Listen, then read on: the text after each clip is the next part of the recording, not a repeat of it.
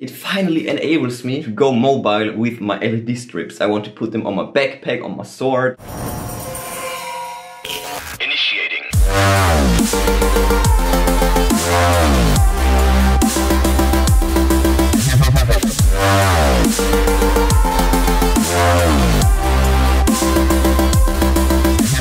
It is Thursday and in this vlog I will show you how to do this, how to power an LED strip with a power bank. I actually wanted to do this for a very long time, but I struggled. It's funny because it is actually really, really simple, so let me show you how to do this. So what you will need is obviously an LED strip. That's the RGB control box, comes with it usually. And these control boxes, they have this 12 volts input right here you know this one. What you also need is a usb cable that you can cut. This strip came with a remote. You obviously also need a power bank. And this thing right here this is the most important part. This is called a boost converter or step up device. We need to step up the power bank voltage from 5 volts to 12 volts. And that's where this thing comes in. There is a little screw on here and we need to dial in the voltage and for that we also need a multimeter of course. Something to measure, step up device, power bank, strip, USB cable. Let's go. So first of all, just cut the USB cable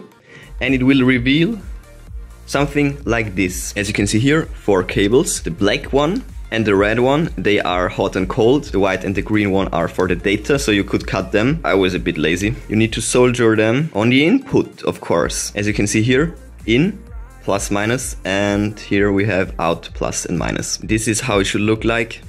Well, it looks a bit ghetto-ish, but you get the idea. Now we can connect the boost converter to our power bank. So let's actually do this.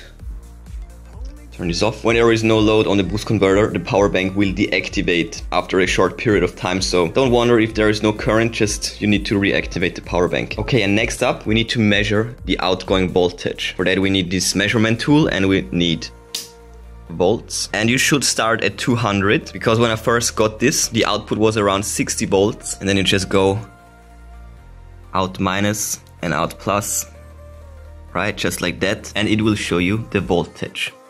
Let me show you on this one. So there we go. It actually says 12 volts.